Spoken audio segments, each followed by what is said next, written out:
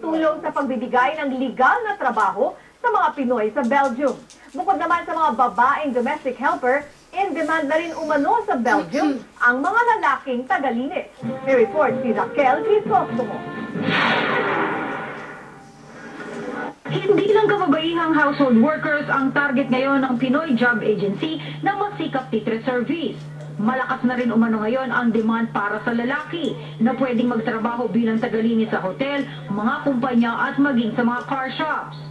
hotels, buildings, company, and uh, car wash.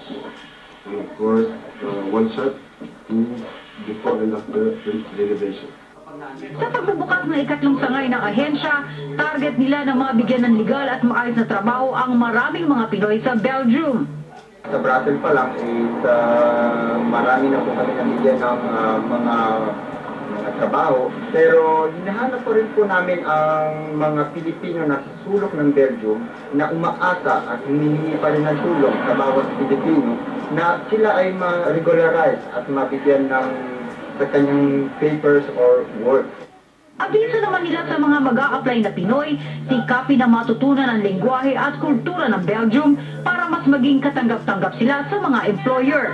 Para sa Balitang Europe, Raquel Bernal Crisostomo, Brussels, Belgium.